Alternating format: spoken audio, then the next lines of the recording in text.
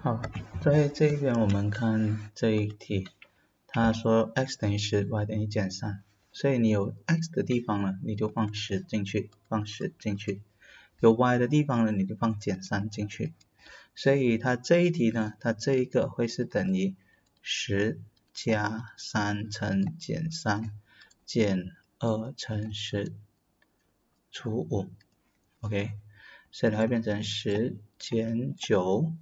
然后这边我约减五一五五二十，然后再二二四减四，所以就会变成一减四减三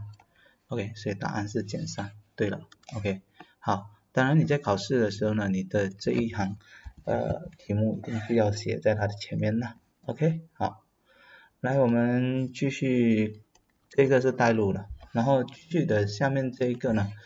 呃。其实只是开挂弧而已，你把这个搬过去，这个搬过去，OK，挂弧前面没有东西的照写，前面是加的也照写，所以我就五 mm 减 m 加二分之一 mm 加三 m 加五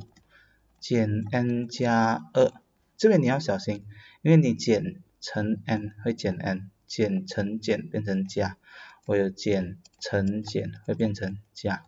减减加。OK，我加乘减会是等于减，OK，所以在这一边的时候减减加，这边加，OK，接下来呢，你在这一边这一个跟这一个它合起来，呃，我们看的是 mm 的这个部分，五 mm 二分之一 mm，五加二分之一，五又二分之一咯，五又二分之一 mm，OK，然后过后呢，我再来看减 n 加三 n 减 n。就 n 的部分呢，就三减一再减一，就剩下一哦，所以是加 n 哦，OK，然后五加二七加七，剩下的是号码，所以它答案就会是这个正确了，OK，好，就是这样。